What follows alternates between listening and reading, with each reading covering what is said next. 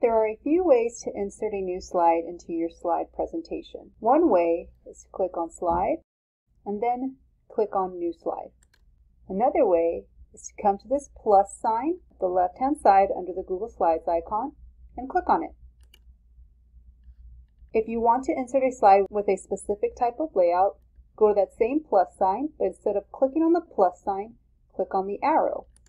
You will then see the different types of slide layouts available. Select the one you want by clicking on it, and it will be inserted into your slide presentation.